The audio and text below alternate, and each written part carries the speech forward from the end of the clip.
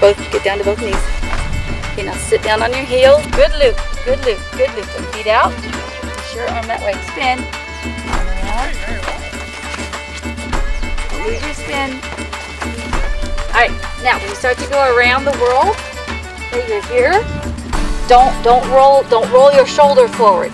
Okay, your shoulder comes up. You push. It's your hips. Your hips come forward. You're here. Your arms behind you.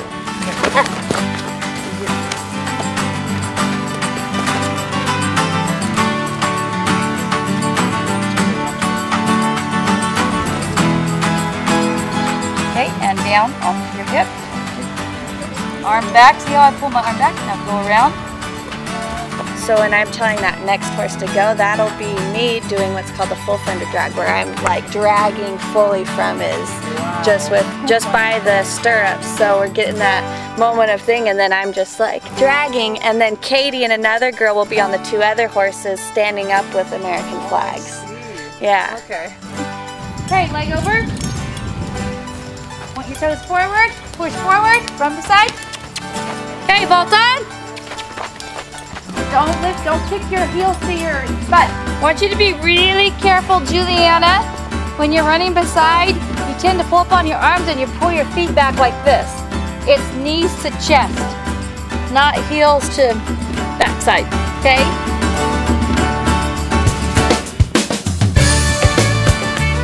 Make it more uh, flow. When you kick over, just shoot forward. Like your leg and stuff coming over is fine. Just- you just gotta have more flow and be more comfortable.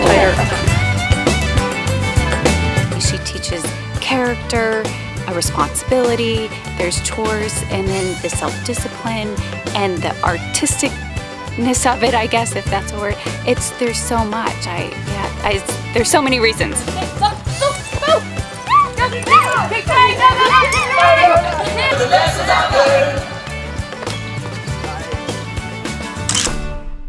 That was really, looked really good.